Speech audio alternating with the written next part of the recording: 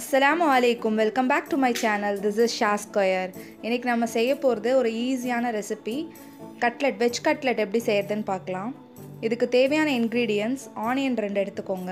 கொஞ்சமாக mint leaves எடுத்துக்கோங்க.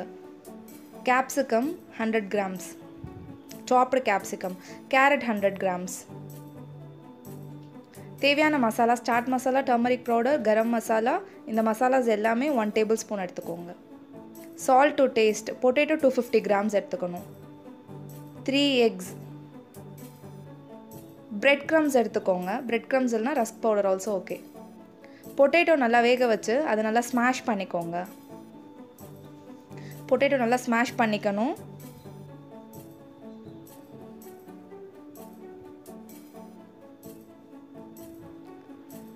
Potato smash பண்ணதுக்கப்புறம் அது கூட கேரட் சாப் பண்ணியிருக்க ஆனியன்ஸ்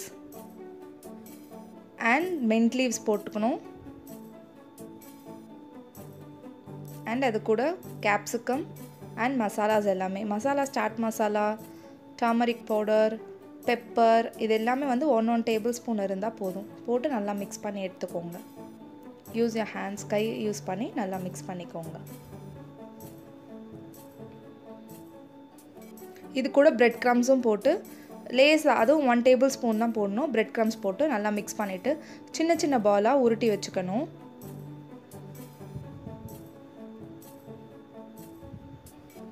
ரொம்பவே ஈஸியான ஸ்நாக் இது. டூ எக்ஸ் போட்டு நல்லா பீட் பண்ணி வச்சுக்கணும்.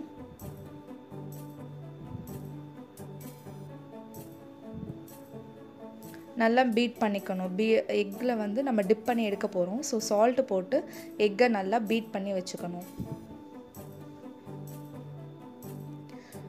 பால்ஸ் எடுத்துக்கோங்க. எக்கில் டிப் பண்ணிக்கோங்க. எக்கில் டிப் பண்ணிவிட்டு அதுக்கப்புறம் நம்ம வச்சுருக்கிற ப்ரெட் க்ரம்ஸில் டிப் பண்ணிக்கணும். எல்லா பாலையுமே எக்கில் போட்டுட்டு அதுக்கப்புறம் ப்ரெட் க்ரம்ஸில் போட்டோன்னா அந்த ஸ்மாஷ் என் கையில் ஒட்டிக்கிட்டு இருக்காது. ஏன்னா இதை முடிச்சுட்டு நம்ம அதில் ரோல் பண்ணி எடுத்துக்க வேண்டியது தான்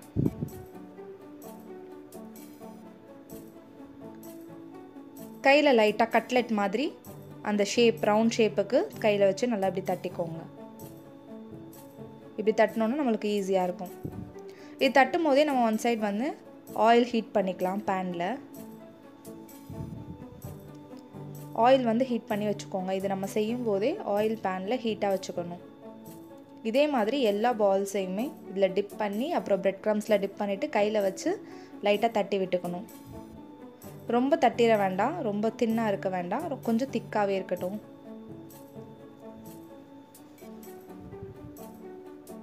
நல்லா ஒட்டி இருக்கணும் பிரெட் க்ரம்ஸ் வந்து கட்லெட்டில் நல்லா ஒட்டி இருக்கணும். பாருங்க எல்லாமே ரெடி பண்ணி வச்சுக்கணும். அதுக்கப்புறமா நம்ம வந்து டீப் ஃப்ரை பண்ணி எடுக்க வேண்டியதான் ரொம்பவே ஈஸியான ரொம்பவே டேஸ்டியான ஹெல்தியான வெஜ் கட்லெட் இது.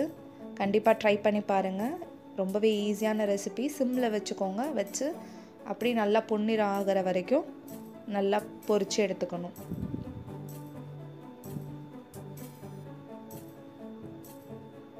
ரொம்பவே ஈஸியான ஸ்நாக்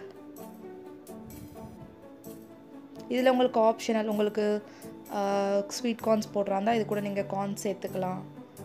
இது ஆப்ஷனல் தான். வெஜ்ஜீஸ் என்ன வெஜ்ஜிஸ் இருக்கோ அந்த வெஜ்ஜிஸ் நீங்கள் சேர்த்துக்கலாம் இது கூட. அவ்வளோதான் ஃப்ரெண்ட்ஸ் ஈஸியான ஸ்நாக் ரெடி ஆகிடுச்சு will see you in the next video until then take care bye bye